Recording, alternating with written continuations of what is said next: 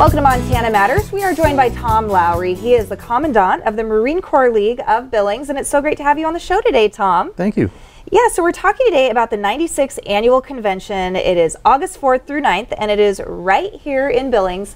This is a huge deal that the national convention is here in the Magic City, right? It is. It is. It was a great honor to be accepted and, and uh, allow us to, to host this convention this year. All right, well, congratulations. Thank you.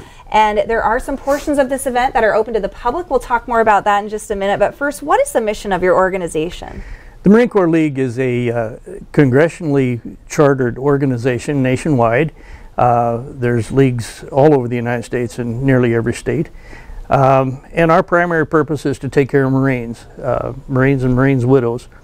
And uh, we do the honor guards for, for all the funerals of Marines.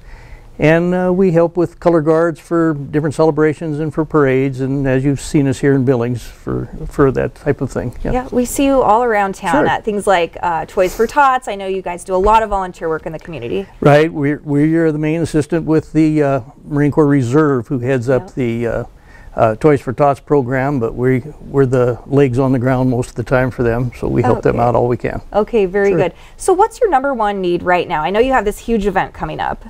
Uh, it is, and, and the community has been so great to us, uh, supporting us really well. We uh, always looking for sponsors, of course, but uh, we've got quite a few, and we certainly do appreciate that from all the folks in Billings. They've stood behind it real well.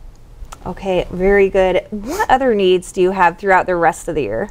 Uh, not bad. Uh, we're pretty self-sufficient. We do get uh, some donations and stuff from, from the folks we do funerals or our honor guards for, uh, and that pretty much finances us. We, uh, we don't do very much for um, fundraising uh, because we it's a volunteer group and we try to do this all just to support the fellow Marines. Yep. We do have a project out at the Pauper Cemetery, the um, um, Riverview, Riverside uh, Cemetery out in the Heights.